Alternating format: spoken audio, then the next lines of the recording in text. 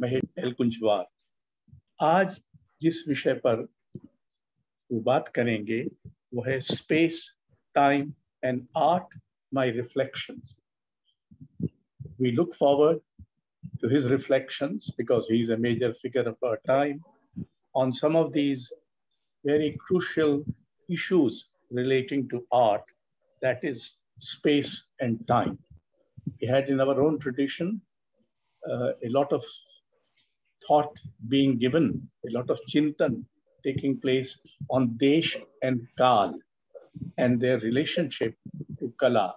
Over to Maheshji now.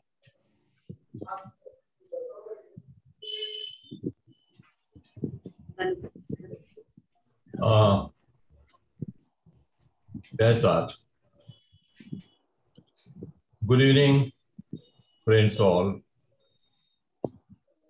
When I say I'm truly honored and feel privileged that I have been invited here by Neminiti and uh, Natarang Pratishthan to deliver a lecture, uh, it is not a formal opening as they generally are.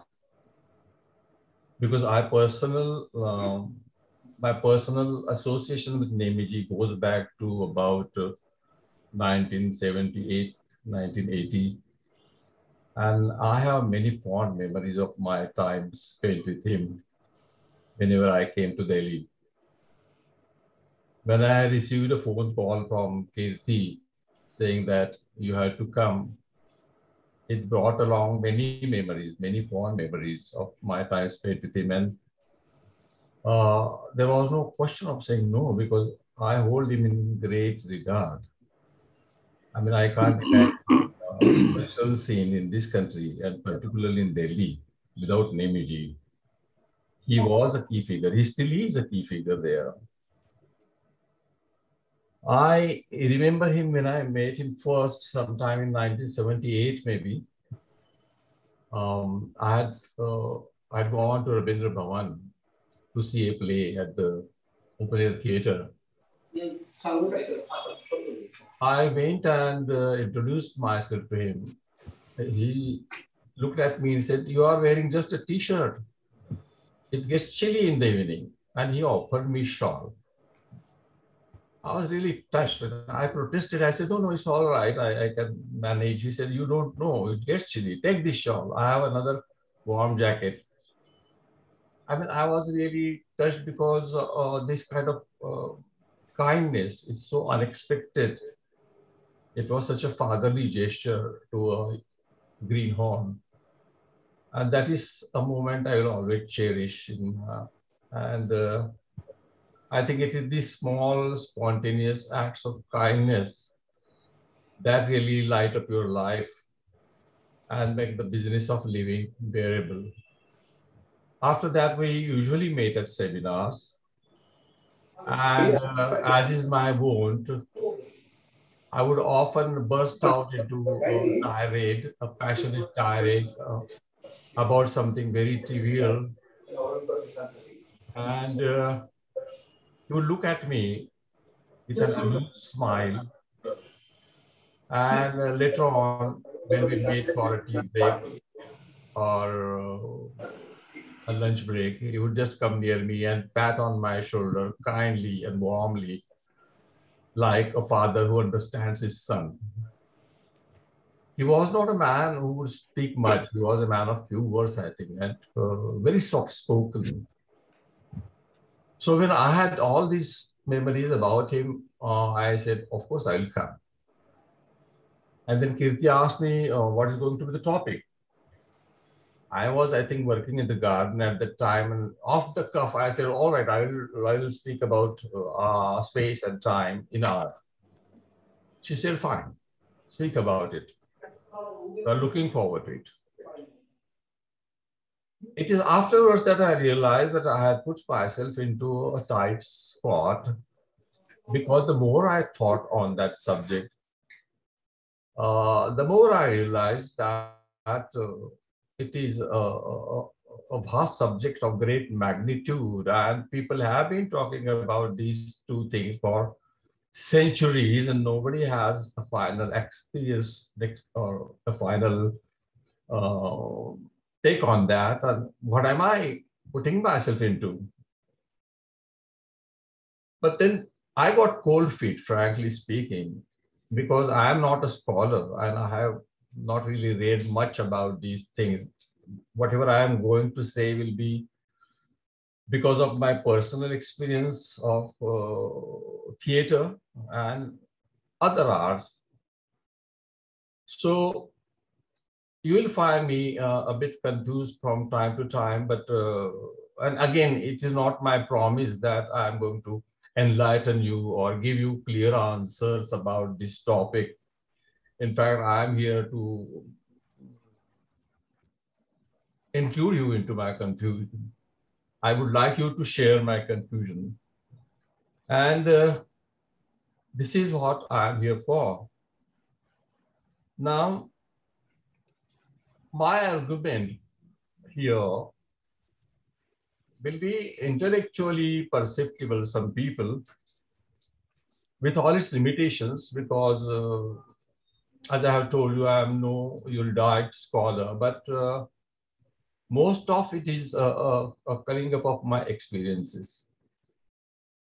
And I have been uh, engaged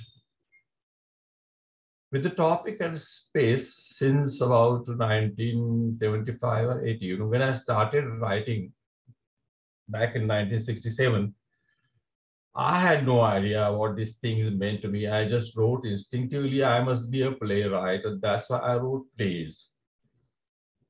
And uh, I, di I didn't know that I was handling space in theater.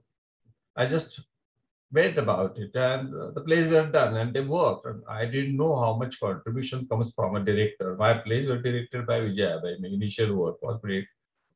And uh, I live in Nagpur. She lives in Mumbai. So we hardly met. I used to go there at the opening and uh, we never talked about these things.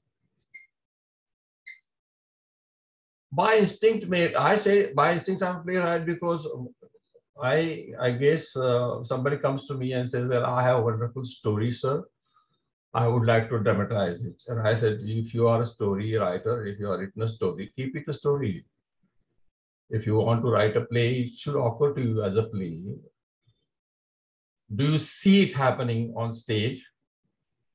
No, sir. I think uh, if you are not seeing it happening in stage, on stage, 40 by 30 something, whatever the space is, then you are not a playwright. This much I could say, but even then I did not know what I was talking about.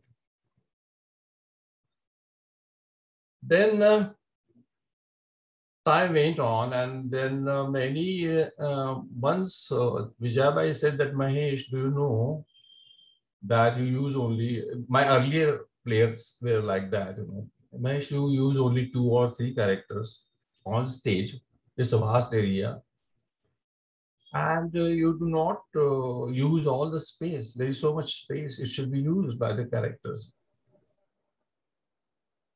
I am doing all the things. The tricks that you see are being done by the director. But as a writer, do you ever think about it? I said, no, I never thought about it. But now I realize I had to learn, and I will. So immediately afterwards, I came back to Nagpur from Bombay. I decided to use the area, all area, entire arena, 40 by 35 or something. And I decided to people it with about 10 to 12 characters. Uh, I was trying to achieve uh, Aristotle unity, you know, three unities also. That is when I wrote party. I used to have a stack of papers with me and I had colored pencils with me and I decided the green color will be Mohini, red color will be Barve, like that, about 12 colored pencils representing 12 characters. And I drew the map of the stage and I used to move those people from this point to that point. And I used to prepare about three to four drafts for every scene every small scene. It was fun, but then I was a greenhorn and I had uh, to learn, and this was a wonderful way of learning. That is when I realized what physical space, visual space in theater is. And that was the first conscious understanding of the physical space available to me. And then uh, when I wrote the play completely, till that moment, I was aware only of uh, visual space, whatever we saw, whatever we see in a given space. After I finished writing my play, uh, I thought I would read out to myself how it sounds because it has three or four languages used. And I was writing dialogue, which is an artificial thing. Dialogue is always artificially structured, but it has to sound like conversation. This much I knew. So I read it out to myself. And suddenly I realized that, my God, there is one more space here in theater, and that is acoustic space. I'm listening to my dialogue, and uh, my wound, my habit as a playwright has been, I mean, I have created pauses in most of my texts. And this was done instinctively before. Later on, it became a you know, part of my craft also. Sometimes I intentionally introduce pauses. Uh, and uh, I realized that there is a kind of uh, probe about the acoustic space. Have I used it sensibly? Have I used it correctly? What is the relation of the acoustic space and the physical space? Can I, can I synchronize the visual space and acoustic space to, together? That was very important. And uh, that is when I realized that while using sub, uh, using um, the acoustic space, why did I introduce pauses where nothing is said? Sometimes I was incapable of saying something which uh, I thought has to be said but cannot be said, so I created pauses. It was my inability who could not use dramatic language, maybe. Sometimes I didn't want a particular character to, to speak out his or her mind for a variety of reasons. Then, at, at, after some time, I gradually realized that I was trying to say a lot more in the pauses where nothing was said than in the main text which was written. Which means I had created initially unconsciously, now I do it consciously. I created a subtext, subtext or sometimes many subtexts in those pauses. The real play was in the pauses. The real play was never said out by the characters. And uh, that is how it should be, I think, according to me. A good play is that which uh, say, uh, I mean, you can use a very uh, insignificant dialogue, trivial dialogue, uh, a dialogue which is a sort of fracture dialogue, non-sequential dialogue. And uh, you might think that what's happening and they are not saying anything to each other. But if you have used uh, pauses sensibly, correctly, you are able to see something very deep, something moving, something deeper uh, without spelling it out. Pauses do the job, pauses do the business of saying all those things. Of course, the actor has to learn to decipher those pauses. And again, the beauty of that is 10 different actors would decipher those pauses differently in 10 different matters. And the play would be uh, something new every time you see a new uh, something times you see a play with a different actor and a different director. But that is the fun of theater. It never goes stale. Every new um, production is a, a, new experiment and it is different from the earlier production. It's not like cinema. The cinema is the same every time you see it. It's, it's never like that in theater.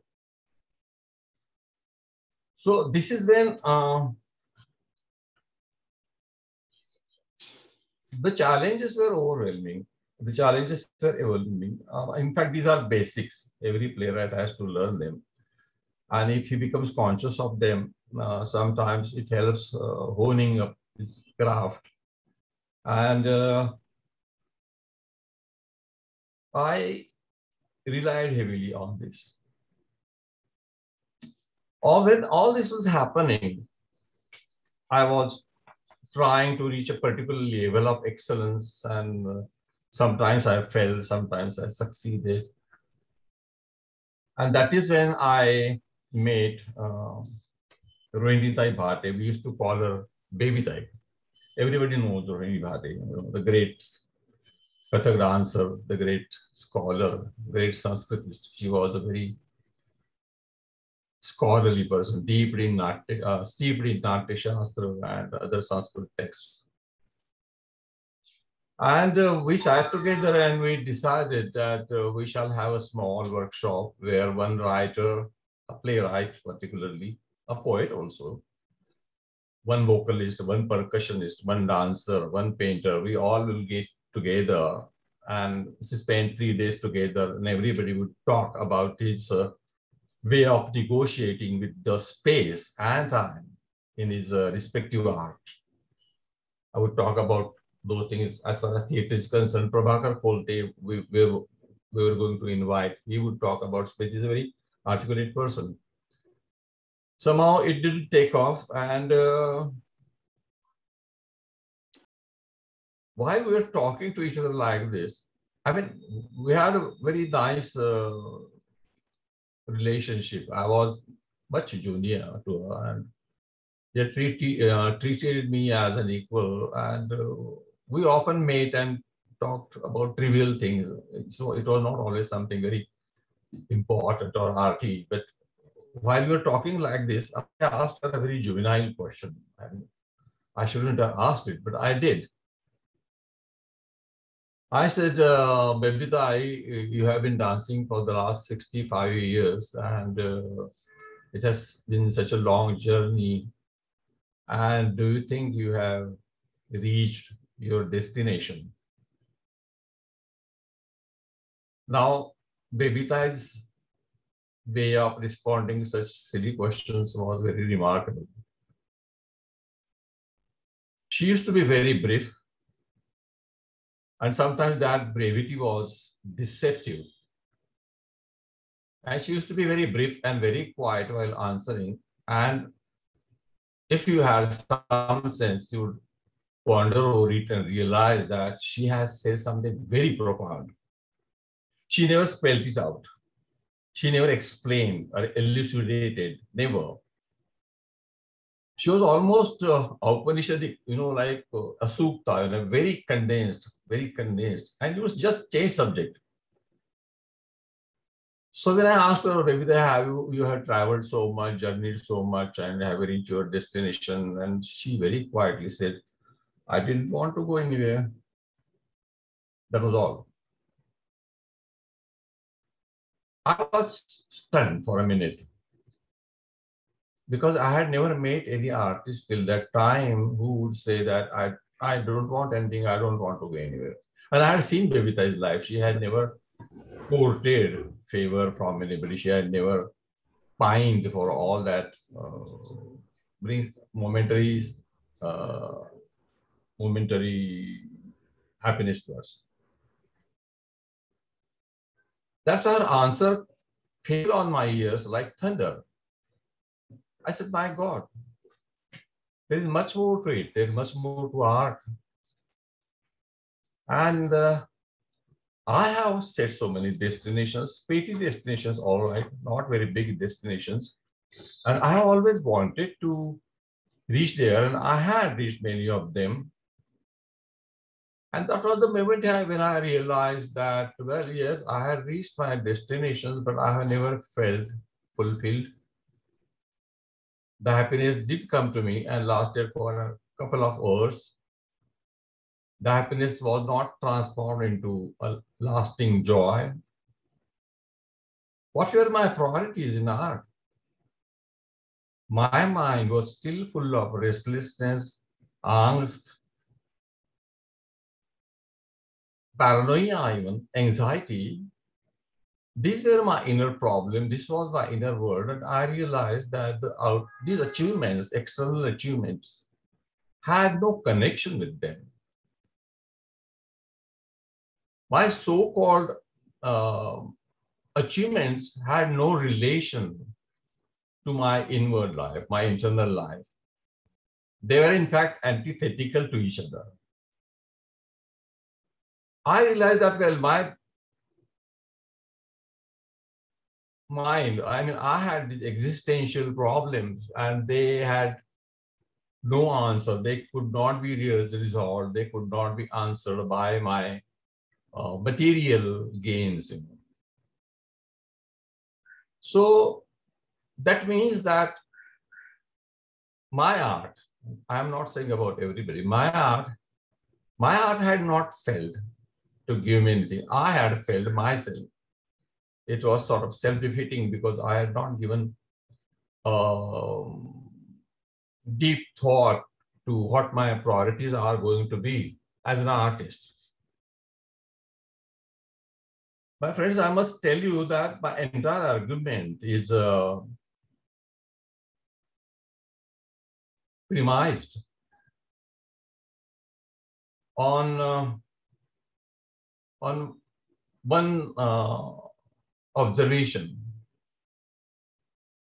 one assumption, and that is artists are basically seekers. You might think that is a generalization, and uh, well, there are perhaps many artists who are not seekers, but I personally think that you cannot really run away from it. You are born with this. And there are three types of seekers, mystics, artists, and scientists. And they are seeking the same thing, although their means are totally different. A scientist employs his own tools, an artist employs his own tools, and mystic has his own way of reaching that particular destination. And that destination is, that destination is the absolute while I'm talking about it, I have to come back to time and space in theater and how it either helps me or it does not help me to propel myself into this direction, which is full of fog, in fact.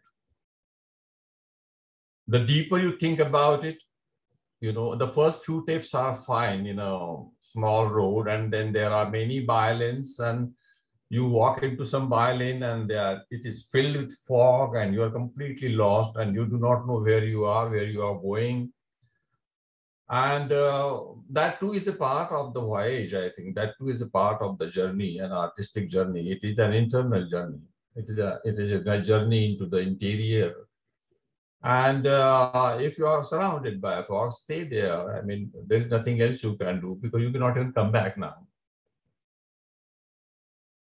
But that was one a life-changing moment when Devita or Rohini Tai said that I didn't want to go anywhere. And I said, my God, I had wanted to go everywhere. You know. I wanted everything, all the material goodies. You know. And I thought the material, when the, once the material goodies come to me, I'll be a very happy person. And then now I wasn't. I wasn't. Which made me examine my life, which made me examine my priorities which made me examine my approach to art, my life, my values. It was a, a very disturbing moment. It was, in fact, uh, it, it shattered me no end. And I realized that, my God, I was so completely blind to these things. You know, they are the things that really matter. And I had never thought of them. I was happy writing. I was happy my plays being produced. I was happy getting either big bats or bouquets. And for me, it was fun. But after this particular incident, it didn't remain fun for me. It became a very serious pursuit. Rohini Tai has been Rohini Tai has been very influential, uh, and because uh, she was a really a dedicated person. So I talked to her and I said, a lot of questions have been haunting me, and uh, I do not know how to answer them. She said, Why do you try? Don't. You're writing, keep writing. I dance. I don't ask myself any questions.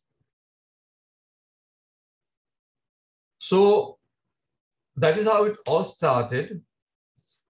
And then I realized that I had negotiated with the acoustic space and uh, the physical space.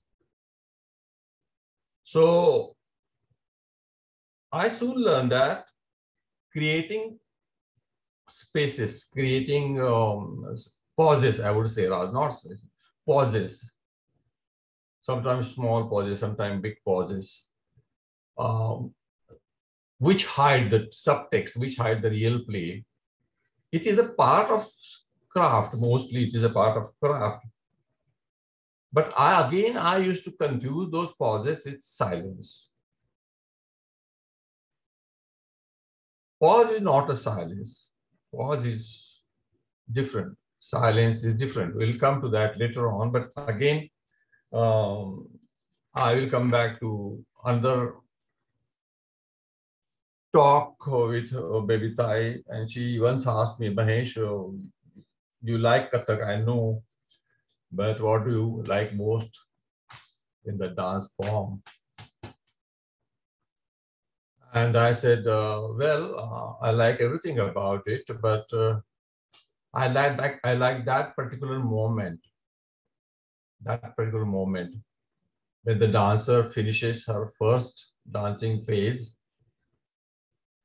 dancing phrase, and comes to comes on the sam and still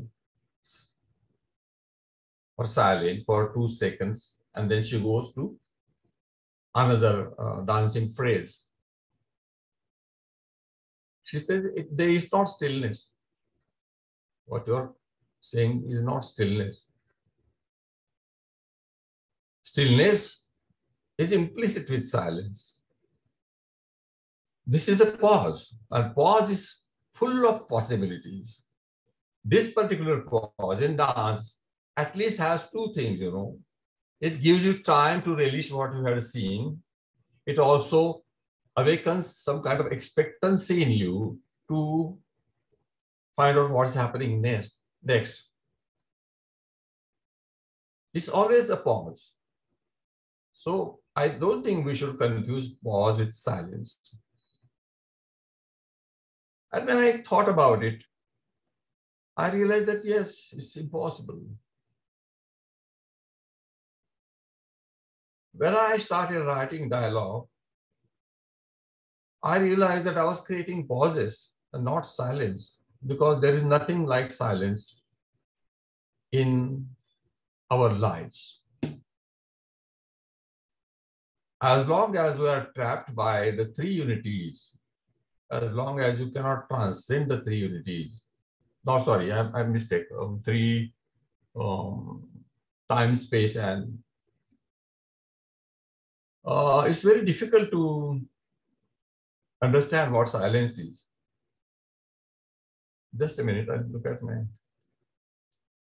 So, uh, when I was, uh, I started writing plays, three dimensions I, I wanted to not three unities. Our lives are imprisoned in three dimensions, and as long as we are trapped into three dimensions, it is impossible to understand what silence is. Although ultimate, everybody ultimately wants to go there. I, earlier I said everybody wants to reach the absolute, and the absolute is completely silent. Instead of the absolute, you could, you could say eternity, or you could say any other word which are generally used by religious texts, but I'm not going into that area anymore. So it was at that time that I realized that my art, writing for theater, is so constricted. That is when I became sort of envious of musicians, vocalists, and painters. My tool was language. And when I used language, I realized that language is such a corrupted, overused tool. It has associations piled on it for centuries. It is also under the burden of historicity it's very difficult to write uh, what you really want to because language can spoil it. Using language can spoil it.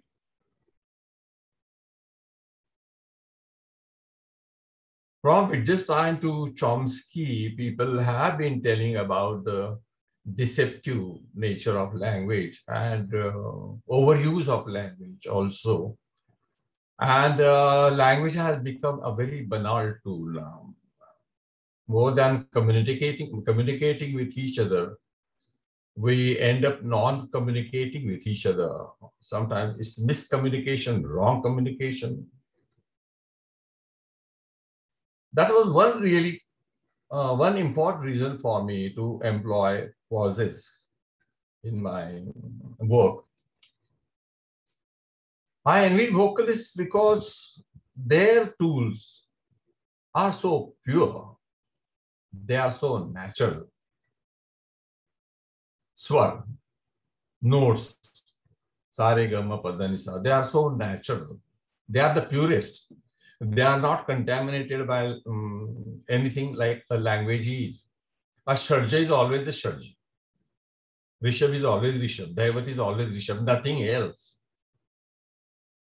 And if you want to reach a pure destination, you have to have pure means also, which vocalists have.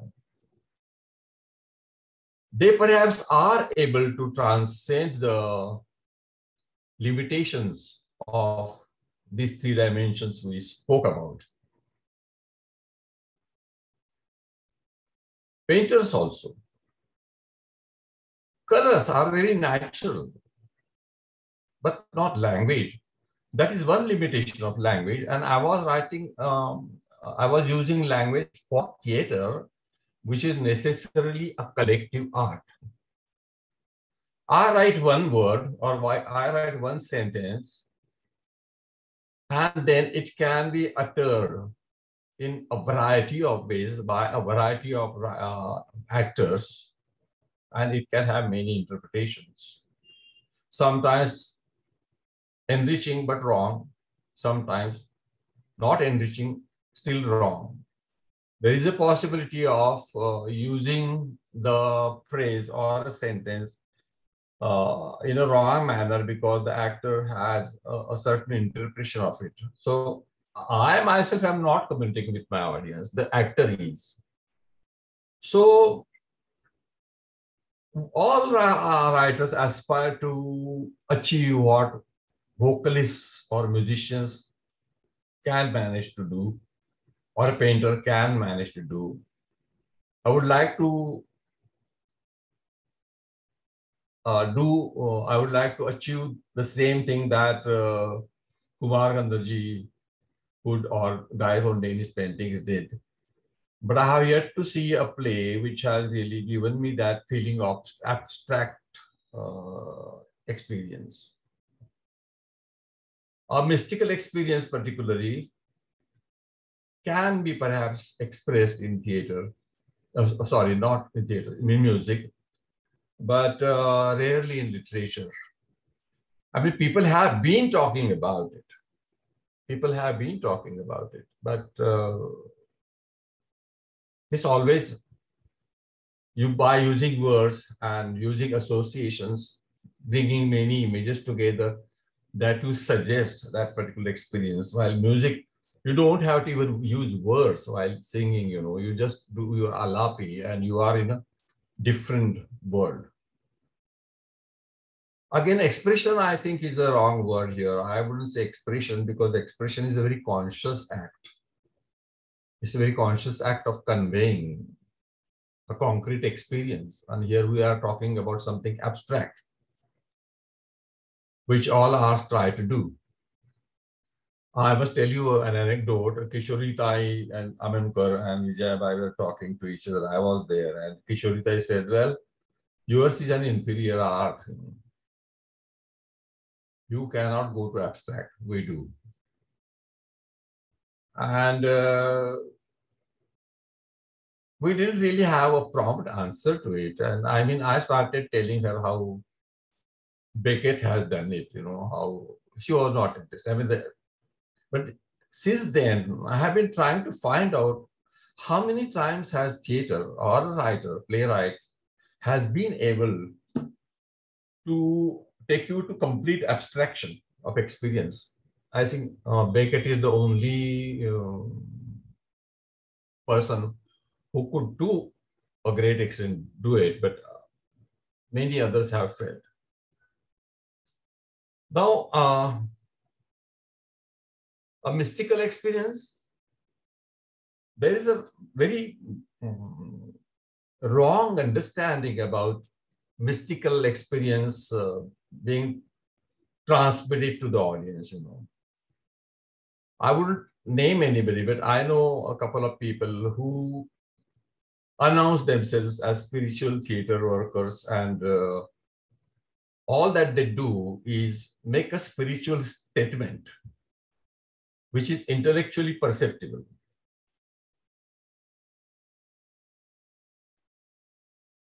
Now, this is such an experience that it cannot be grasped by intellect for the same plain and simple reason that it is beyond the grasp of intellect. Like as I told you, language cannot express this experience because language is a product of human intelligence and the language can go as far as the intelligence goes. Beyond that, there is silence, a bad kind of silence.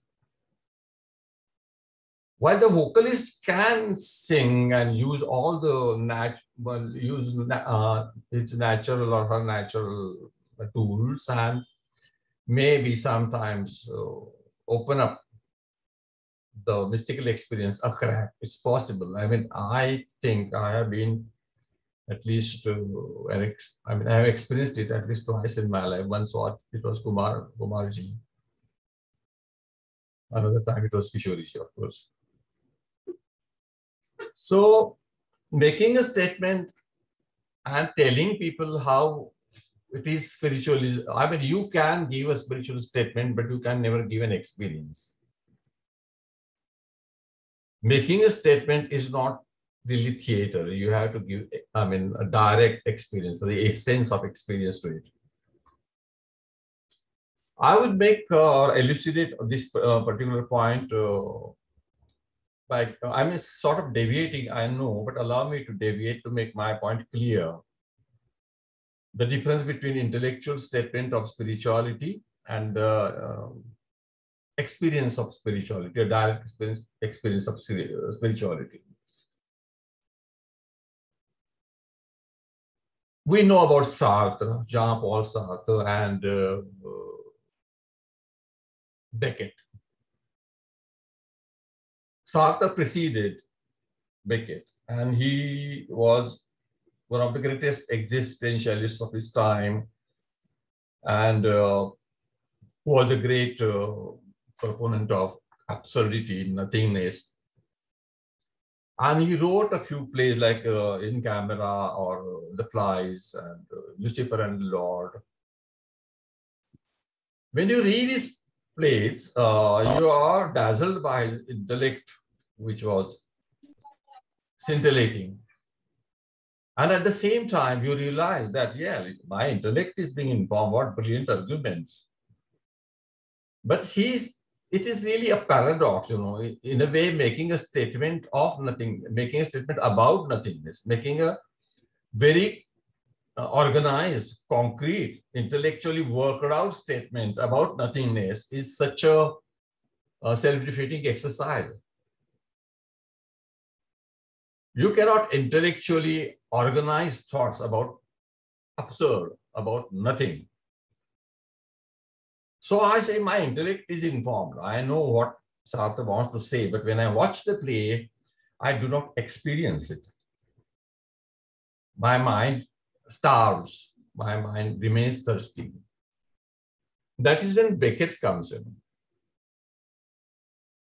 Beckett did not allow any intellectual argument to, inferior, uh, to interfere in his work. He gives us uh, a direct experience of absurdity. And uh, if you read Beckett's plays chronologically, right from Waiting for Godot to Breath, you realize that he begins to abbreviate his means. You know. He begins to abbreviate his text also. Characters speak very few lines. There are longer pauses. Even the size of the text becomes smaller and smaller. Finally, he wrote a play which ran for about 38 seconds. You know that, I mean, it's called The Breath, where the curtain opens and there is nothing on stage except total silence, stillness, if you can use the word now, in a usual manner. And after some time, suddenly the silence on the stage is splintered by a cry of a baby and a deep sigh somebody taking a breath and releasing it in. People thought that, I mean, quite a people thought that, well, it was one of those quirky, quirky things Beckett has written. I personally think that Beckett was in search of silence and it is not available. We do not know what silence is in our three-dimensional uh, lives. Even if I am sitting in a closed room, and there is nobody else, it's completely silent. Silent in the sense, in our usual terminology. I realize that there is no silence because my veins are throbbing, my pulse is throbbing, blood is racing through my veins.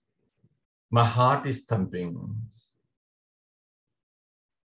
Not only this, my mind is blabbering all the time, ceaselessly blabbering. Mind never stops. It is ceaselessly talking. There is no silence because a silence is a thing within. Silence is not without. Now, all artists were trying to seek this silence in the sense, and this kind of silence is possible, possibly. I mean, this is just an imagination. This kind of silence is possible uh, when you reach the absolute, when you reach the eternity. If you remember right, uh, I mean, eternity is not something uh, I'm talking about. I'm the first to talk about, and people have been talking about uh, for long and in the Western uh, literature Western philosophy, uh, it has uh, sort of become a very negative thing. You know. I'll come to that later on, but uh, before that, before one reaches this point,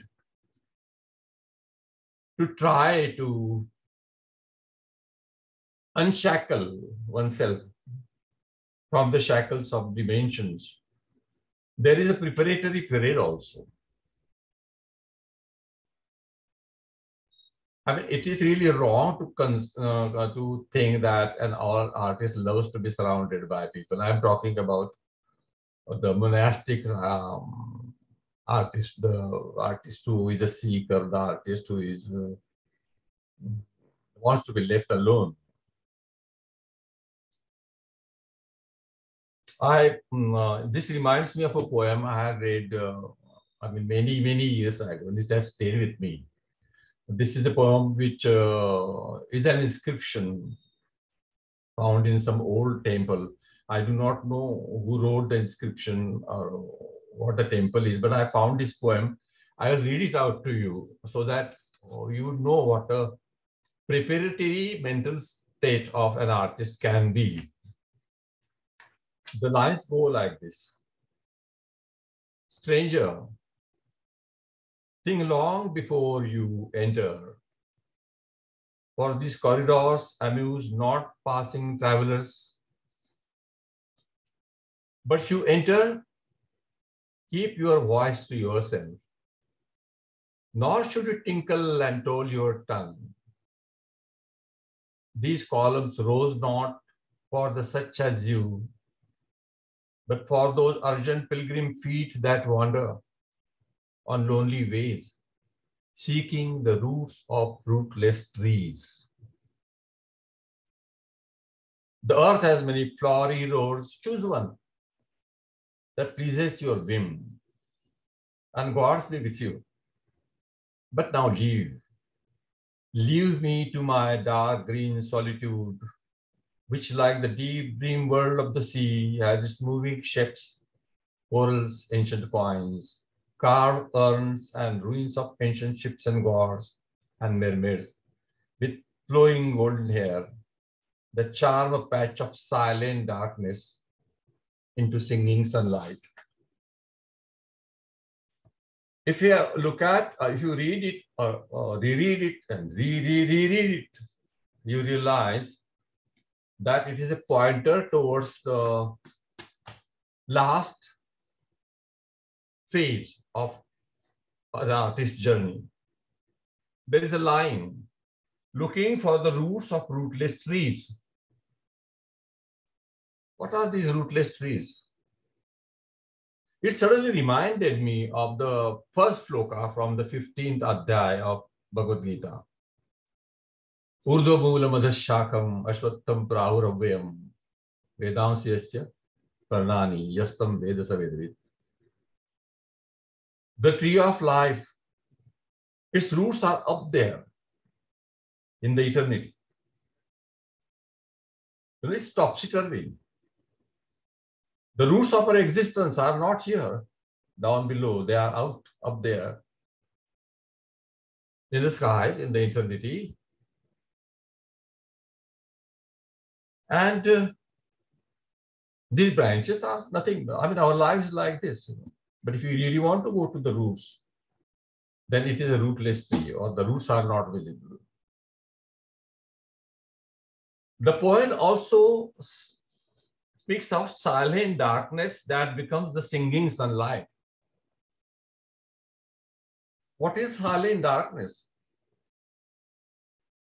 The silent darkness of unawareness, the silent darkness of uh, ignorance, uh, what they call is avidya, the silent darkness of not knowing what you want or where you are going. But if you are prepared to make a solitary journey, then it is quite possible that the ignorance disappears. The ignorance disappears and your life is lit up with with understanding, they call it Kevala in spiritual language. Andharati Mirandasya, or what? Adnanati Mirandasya. So, this is the beginning, you know, this is the beginning of an artist. He wants to be left alone. It is a very solitary activity. All actors are solitary. It is done in solitude. And he really doesn't want to be connected with people, particularly when he is creating something.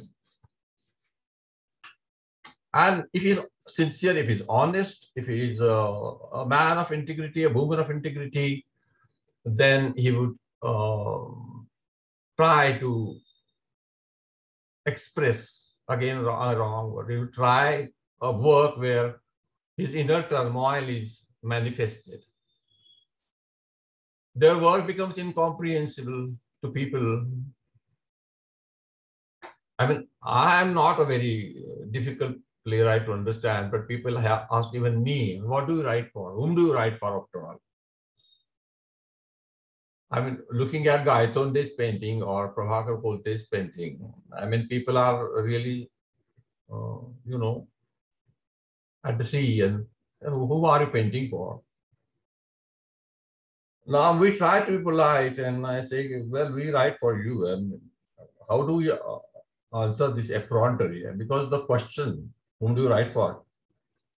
It is implicit in the question that we have to write for them.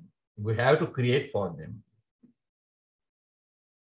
If you are not satisfying them, if you are not entertaining them, if you are not enlightening them, then what are we doing?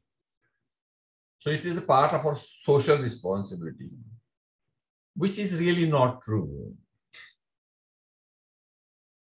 The artist talking to himself, he's trying to probe, search, and it is a solitary journey. I mean, we take the effrontery in our stride, but we go back to a solitary journey. This is a very private journey, more private and more personal than death itself.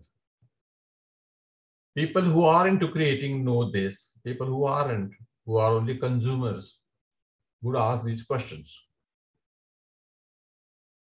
So when I had thought about these things, I, I was, I still am at this stage where the poet has written about uh, uh, an artist wanting to be Uh, alone, wanting to retire into his solitude so that etc etc i was wondering if i can do it.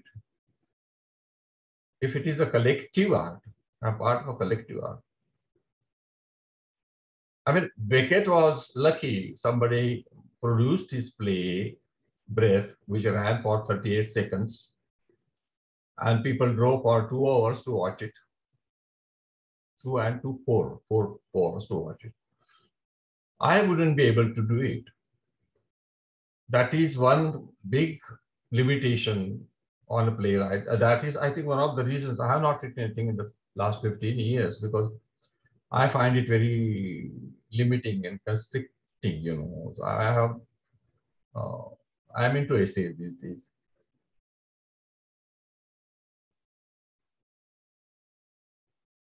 I remember Artaud here and Grotowski, big names, but it was Artaud who first thought that uh, he has to free himself from the tyranny of language. You know.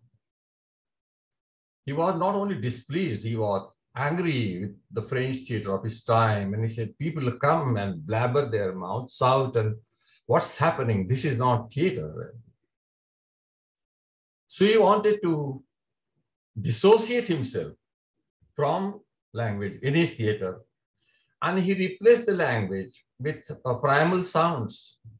Actors would come and cry and laugh and create various sounds. They were primal sounds, and that is how they wanted to connect because Artaud believed to go back to the primal existence, the primal, primal feelings of our existence. Grotowski went uh, one step ahead where the actor's body became the vehicle of expression. The actor expressed through his body, and they were extremely uh, devoted. They had gone through penance. I mean, I know because I had visited Grotowski in Poland in November in 78 I had seen there, but Grotowski had told me that he has uh, stopped doing theater. And he was surrounded by a sort of silent aura. I didn't ask much. But I have seen his actor performing, and I mean, he, it was a rehearsal kind of thing, but he was himself. He was not bothered about who was watching him. That was one uh, very moving experience. And I thought maybe people could do this in theater but then it becomes very esoteric. this kind of theater becomes very esoteric. It is uh, it is only for those people who want to share something like this. Now, since I have already make, made a statement that people want to reach the absolute or eternity, all seekers, even scientists, they want to know at least what eternity is. Mystics also disappear into eternity, so also artists. But there are two responses to this. You have heard of Susan Sontag. And she says uh, in one of her essays that the modern artist negates everything. He negates everything. He negates society, he negates communication, he negates human contact, he negates societal norms, and finally he negates his art also. And then he wants to retire in silence.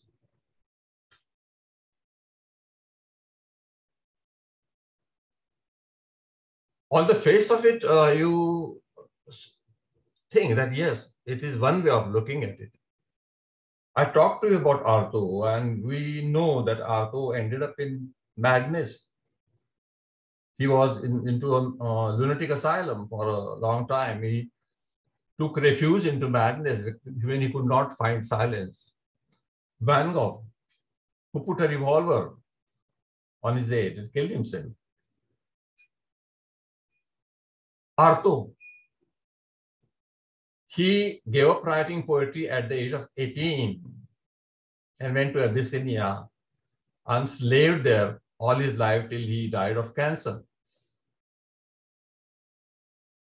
So this kind of refuge in death is the answer to all. Death finishes all. There is no silence. Death nullifies everything. Death finishes everything. And when you come to think of it, you realize that the number of artists, particularly in the 20th century, who committed suicide, it is a formidable number. In such a situation, people who are trying to reach that level of silence, the very concreteness of the artist's tools appear as a trap like I told you, I mean, theater is so concrete. I mean, language is so concrete. And I am completely trapped into it. How can I dismiss it totally and yet be a theater person? I cannot do that. So the very concreteness of my medium, the very concreteness of my tools are uh, a sort of deterrent, are uh, they become a sort of trap according to Susan Sontag, art becomes the enemy of the artist because it denies him realization. That is silence, moksha, nirvana, absolute, eternity, call whatever it is. Because silence is not feasible, either conceptually or uh, in reality this is, uh, I think, a very negative take. It is very nihilistic also. The entire response to the situation is nihilistic. And this is something maybe incomprehensible uh, to an Indian artist. The Indian tradition, the Indian artist's response to this is beautifully reflected in Rohini Tai's small sukta-like sentence, I didn't want to go anywhere. There is no expectation. There is no expectation. The only thing you are supposed to do is practice. Do work, work hard. And uh, this response, this Indian response is totally against, totally contradictory to the response which is uh, which is stated by Susan. I had long talks with some of my friends like Pandit Suresh Talwalkar, Rohini Tai herself, dancers, Sucheta Bhide, and then uh, painters like Prabhakar Kolte, sometimes Akbar Padamsee also. Once I had a long session with Akbar Padamsee. And I realized instinctively that they were following the Indian tradition of working tirelessly, doing sadhana is the word. And now I don't know how sadhana can be translated into English because it's such a uh, loaded word with many Indian connotations available only to an Indian, not a Westerner. Doing sadhana without giving up, without any expectations. I'm sorry, I could never meet Gaitonde, but his work intrigues me no end. I think he was trying to do this, exactly this, reaching this, trying to reach the silence. His works became more and more abstract in his later uh, phase. Now, come, uh, I will come to the uh, practice of an Indian artist. I'm, I'm like, like, we'll talk about vocalists to begin with, because that is the purest form. That is the purest form of expression available to human beings. An artist starts doing his sadhana tirelessly, trying to reach a, a, particular level, not a particular, the highest level of excellence. That is the sadhya, you know, that is the destination. All that an artist wants to reach that destination, which is total excellence, total excellence. And some do.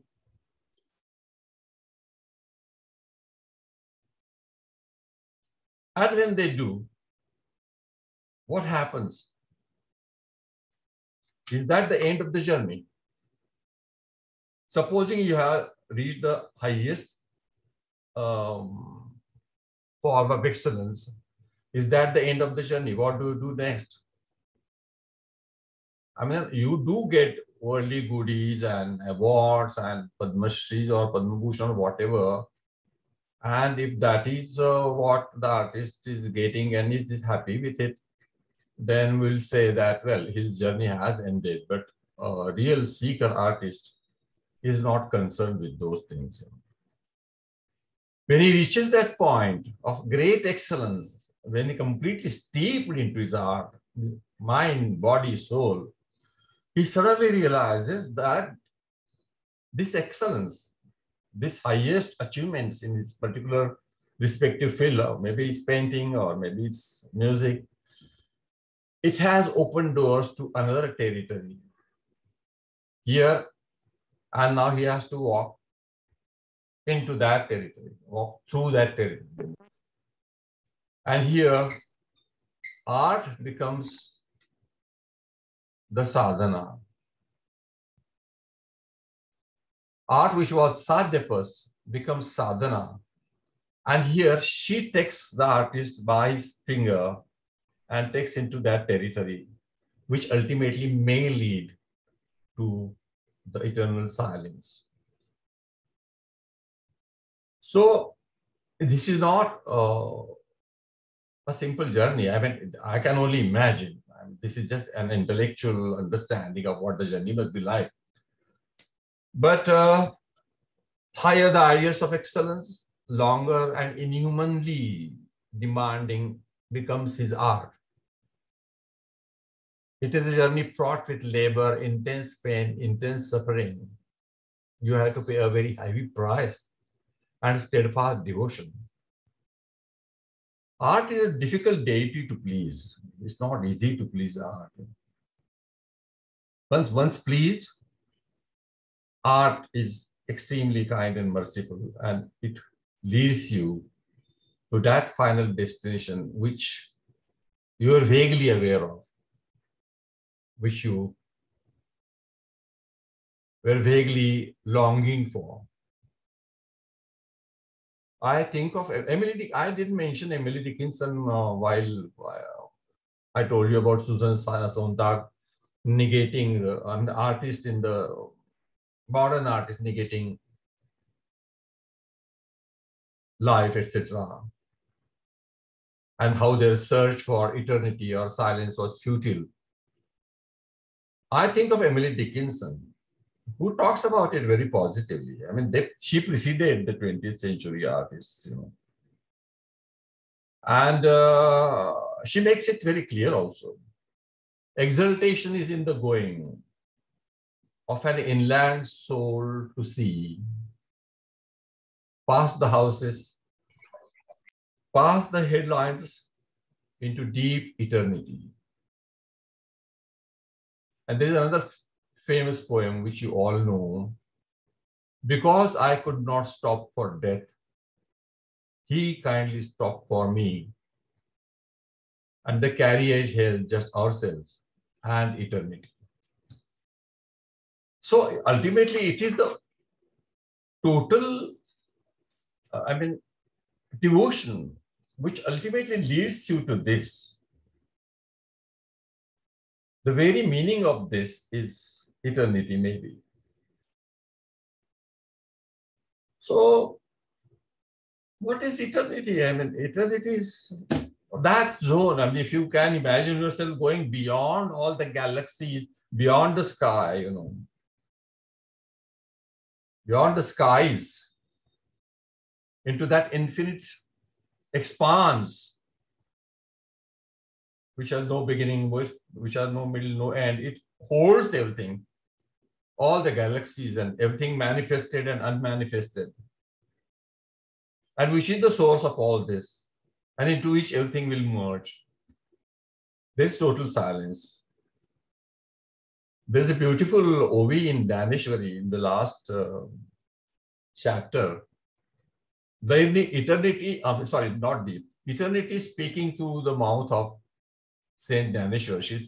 and eternity says, um, Swami mi sadodita, sahajami satata, sarvami sarvagata, sarvatitami. I am the sovereign. I am constant. I am everything I am into everything and I am beyond everything. Now you cannot really call it space even, that it is a non-space. It is the source of all, which envelopes the seen and unseen, manifested and unmanifested. This perhaps has silence, which we really cannot experience when we are completely living in a three-dimensional existence. They say there are 10 dimensions. And, unless and until you go beyond these 10, 10 dimensions, it's really not possible to perceive what is happening beyond our material world. And that is where the artist wants to go. Whether he goes there, whether he reaches there or not is irrelevant here. And again, you don't have to be an artist to reach there. There are very um, ordinary looking person who perhaps have reached that destination. That's a different issue. We are talking about artist and our art. So ultimately, art propels you into this direction.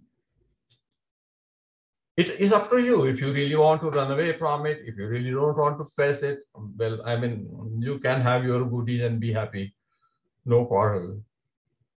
But then the basic restlessness, the basic unhappiness of the artist, which is existential, as I said, compels him to walk through these roads.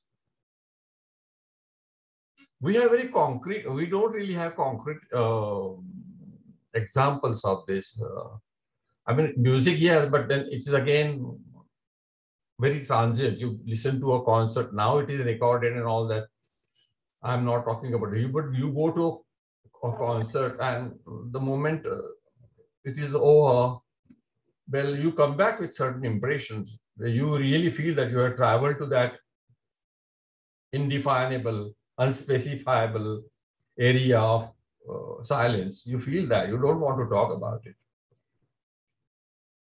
I mean, I have not come across a concrete, except, except Taj Mahal. I mean, you'll be surprised I'm talking about Taj Mahal. I think it, it, it is a concrete manifestation, manifestation of what silence is.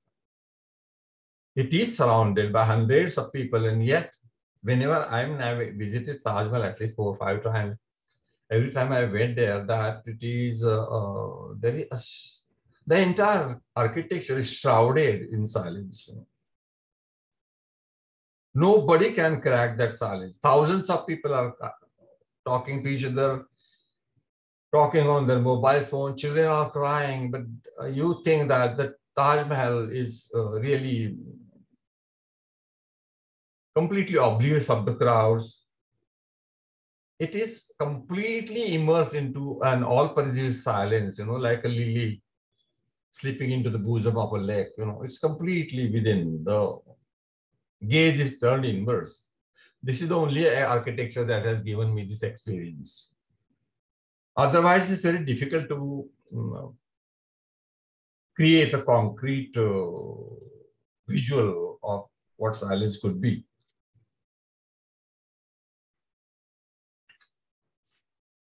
Now, uh, I did try to write a play about this uh, dilemma, and uh, whoever is in theater, whether it is an actor or director or a writer, he has to face this dilemma. I wrote a play about 15 years ago. An actor exits. This actor is in, the, in that area, uh, which is a territory which is after death. But if before the final realization. Nobody does it, of course. Amal told me that you should do it, and uh, if I will, I will direct it if you are acting in it. I said, no chance, you know, impossible. So it was shelved for good. Now, if you look at the history of theater, most of the major playwrights have tried to do this they have tried to achieve this from uh, Shakespeare to Pirandello to Beckett, you know. They have tried to do it. They have striven to transcend the barriers of these three dimensions. Shakespeare openly says that, well, this is uh, the world is a, a, stage and all the characters, etc., etc. You know. Even Dnyaneshwar, 400 before, uh, 400 before Shakespeare, Dnyaneshwar said Natanach, dance of actors. Now, uh, all these people have tried to transcend the barriers of three dimensions. And uh, we do get uh, an inkling of what they are striving to do, but it is never, it never comes to uh, it never comes to it comes to comes close to the experience when you listen to music. I think Western classical music is as spiritual as Indian classical music, you know, and particularly if there are no words, it is much better, at least as far as I am concerned. Words bother me. Words do bother me. I mean, there are bandishes and all that beautifully built, and but that is a part of craft. And the real singing is in or Dhrupad, you know. So, all said and done, one says that to reach the purest, to reach the unimaginable, unspecifiable, to reach ultimate silence, which you can call realization, moksha, nirvana, whatever. To reach ultimate silence, then you have to have pure tools. You have to have pure tools. Pure means to reach the pure. Which means I might give up many things. I might even give my give up my art, like Susan Susan Sontag said that I renounce everything Not waiting for something to happen also is renunciation. But as long as the mind is ticking, as long as the mind is continuously blabbering, it's not possible, which means that the mind has to be pure. Now I know I am going into some very dense and maybe cliche. It's, it might sound like a cliche, but this is what it ultimately means. Keats has said that I don't remember the sonnet. Uh, sonnet to the great, ode to the Grecian woman. Thou solid form, dost tease us out of thought, as doth eternity.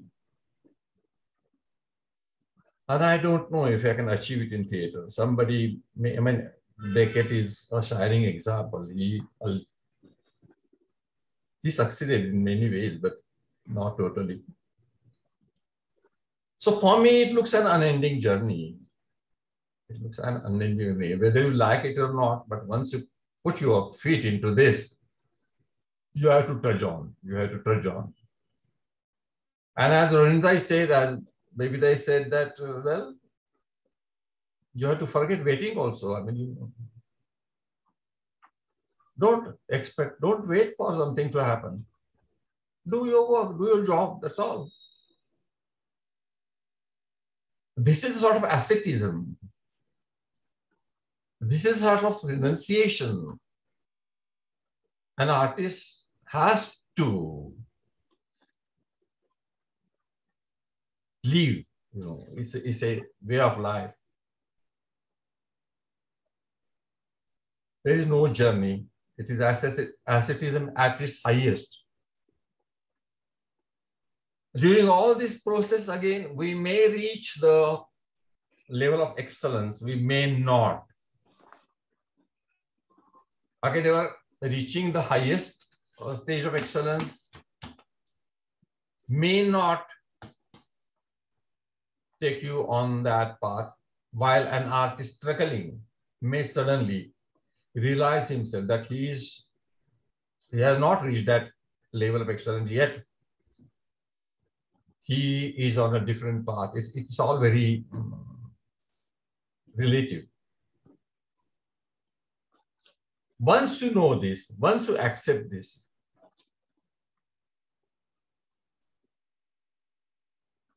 everything becomes insignificant. Everything becomes uh, insignificant. Because waiting for something to happen is a part of it. If it is renunciation, then all that you can, all you have to, or you want to do is do your work. It is out of purification. Purification because I am saying that your tools have to be extremely pure to reach the ultimate, to reach the ultimate pure then it is a, purification of self. Maybe in the process, the artist himself is purified and also his art. And maybe even after that, after all this happens, hoping if this happens, silence may follow. Thank you very much. Thank you for listening to me.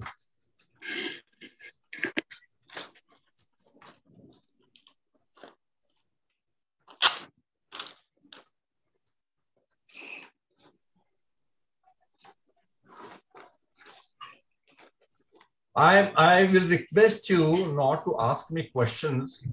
Rather, I would ask you to either contribute to my confusion or clear up my fog. You know.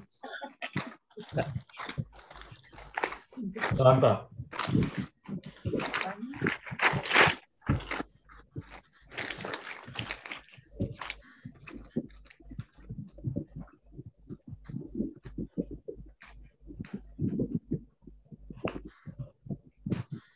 Everybody seems to be in a fog.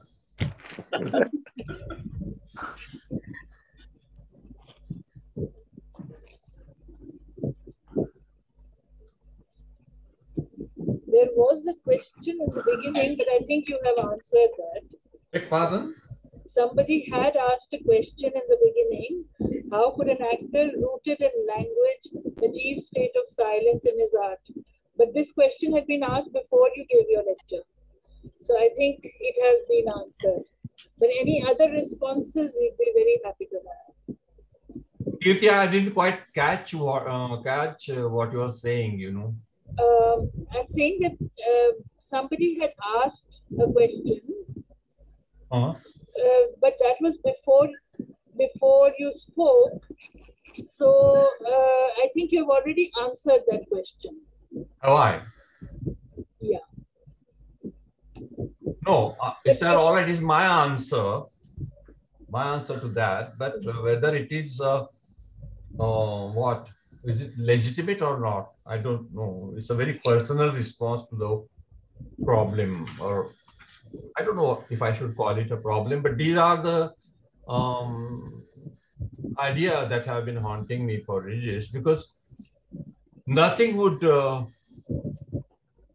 nothing would help me get over the restlessness and the search and angst you know. So what i was looking for i still don't know what i'm looking for but maybe if it's like this well i shouldn't be a playwright. I don't know if a playwright can achieve this.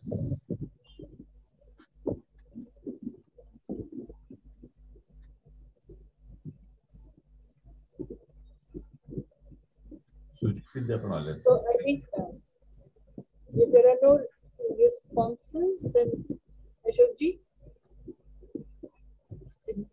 I can't hear you, you know. I mean, I'm what's the problem? Oh, there's some problem.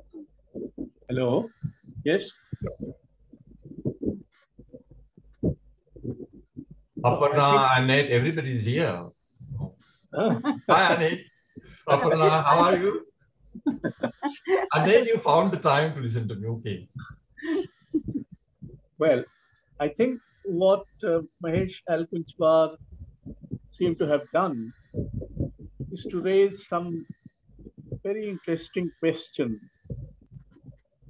uh, both emerging from his personal journey and what he had learned by interacting with others like Rohini Bhate or,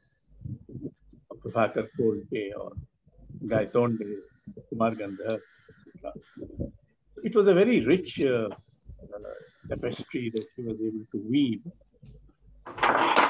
I thought that he left the dimension of time altogether. Uh, perhaps he, he, he not I mean, the fog, fog seemed to have gone, and then uh, not much said about time, that the dimension of time. But be that as may, I think it has been a remarkable uh, personal account, rich with insights and with issues which collective art cannot possibly address.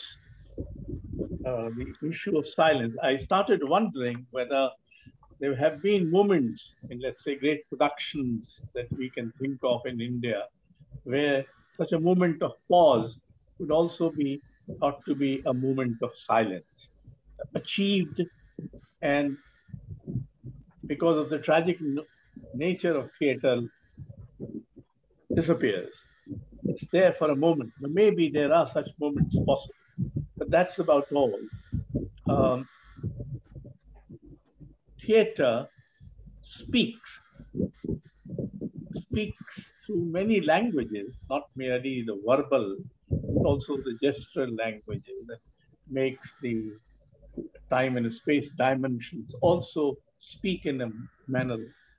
So I think there should be a way in theater, I don't know how, whether when theater should be able to speak silence.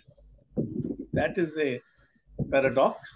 Well, creativity and imagination and, and sadhana are all paradoxical.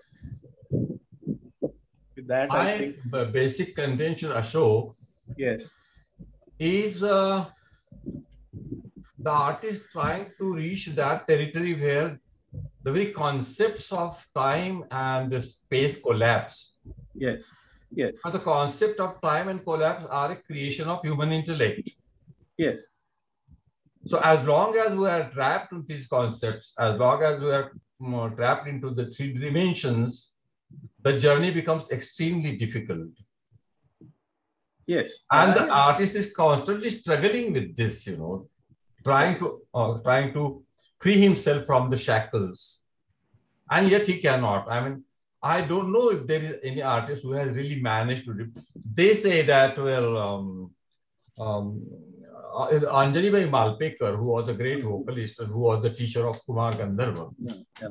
Um, I mean, the popular stories like that. Her, uh, she had a guru, and she to, uh, he told her not to sing, and she stopped singing. And she stopped singing at the age of 28 something. But she used to tutor students.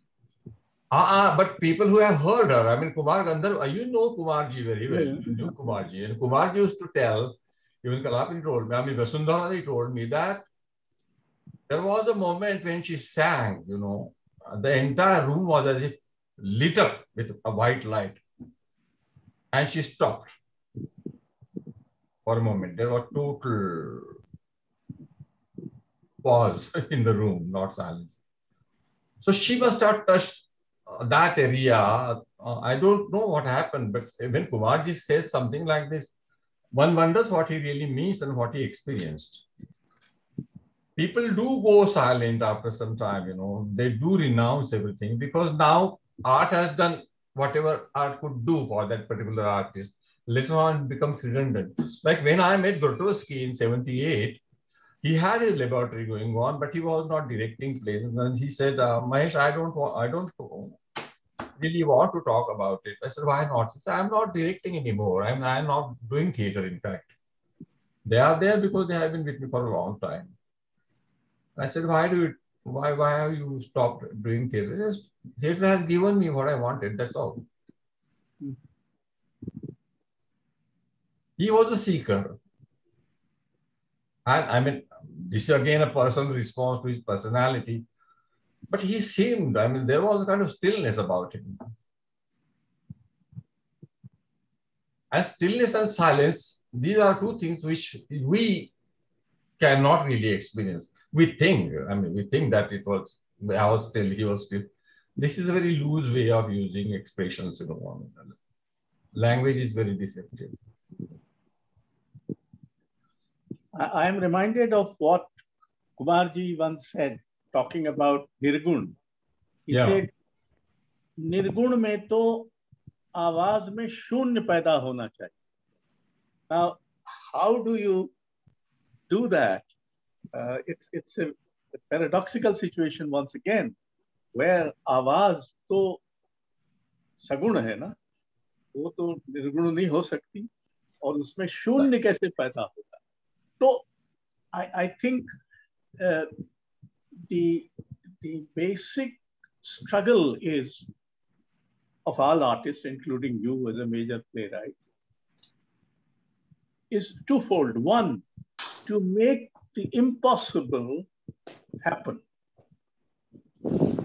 Two, to make the ineffable affable. So I think there are many, many other steps in a poetic and a creative journey where you can partly achieve and partly not. And you keep on struggling with these binaries, which are, as you said, uh, created by human intellect. And, and, and, the, and the notion that we had, even in sadhana, that it is deshatit and kalatit. You quoted Dnyaneshwar saying uh, sarvatit. Yeah.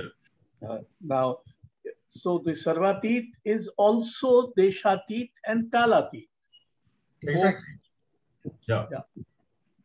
So fine. I mean, this is this is something which we can discuss uh, at length, uh, but I think our time is now coming to the end. And uh, on behalf of uh, Niminidhi and Natarang Pratishthan, we thank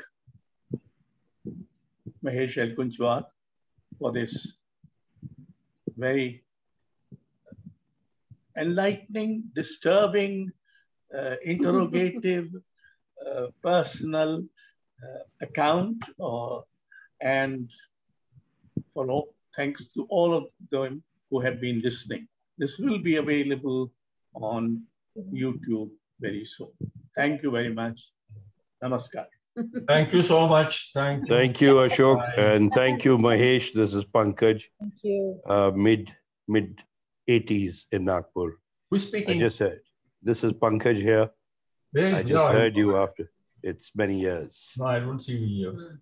We Uh, yeah, I, I have a problem with the video, but I can see you very clearly, and I hope you can hear me clearly, Mahesh. It's really wonderful hearing you. One quick, small little point: eternity, moksha, nirvana equals silence.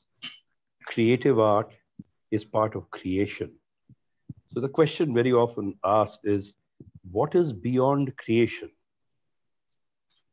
Possibly, it is that silence possibly it is that momentary stillness. I think spiritual seekers are seeking, and it's really lovely to have heard you. Uh, we all have been struggling with this, but it's fantastic to be in touch after so many years. Yes, Mahesh. Thank you so much. Thank you. Thank you, everyone. Thank you. You. Thank you. Thank you. So we'll, Thanks. yeah, we'll finish the meeting then.